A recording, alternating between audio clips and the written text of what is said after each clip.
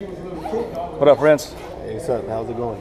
Good, man. Yeah, I want to get your take on the uh, Canelo versus Chavez Jr. Canelo Chavez. Um,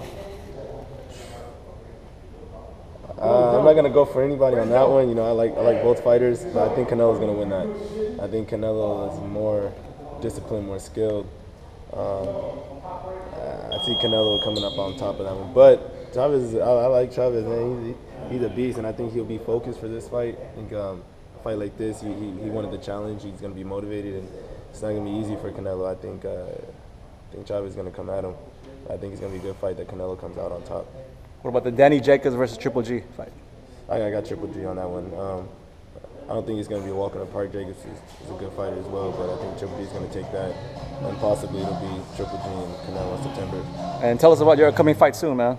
I have a fight for February 24th at Pechanga Casino. Um, come out and support. It'll be uh, eight rounds, 126 pounds against one of Mayweather's guys on a Mayweather card, so it's gonna be a good one. All right, tell where the people where to follow you. Follow me on Instagram, Twitter, Prince underscore T Smalls, also on Facebook, Prince Tiger Smalls. Message to your fans.